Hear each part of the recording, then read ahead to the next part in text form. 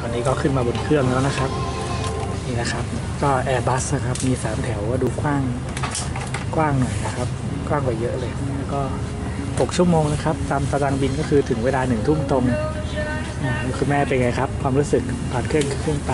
ยังเครื่องยังไม่ขึ้นนะครับเลยเข้ามานั่งในเครื่องบินแล้ว ก็ดีใจครับตื่นเต้นค่ะอีกประมาณสักไม่ถึงครึ่งชั่วโมงเครื่องก็ขึ้นแล้วนะครับ โอเคงั้นเดี๋ยวก็ไปดูว่าบรรยากาศบนเครื่องบินจะเป็นยังไงนะฮะโอเคครับ